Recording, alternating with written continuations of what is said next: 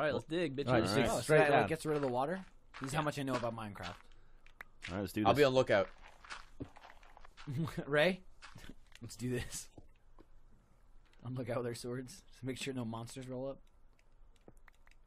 How Well, big of a drop is it, Gavin? my Like- map oh, looks- it's a big one.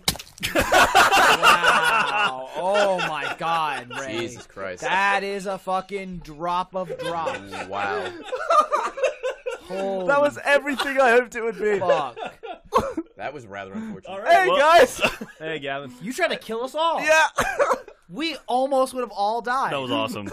I knew that was gonna happen too. That's great. Hold Jack, on, I'm so use this to sorry. get down. That's okay. Oh.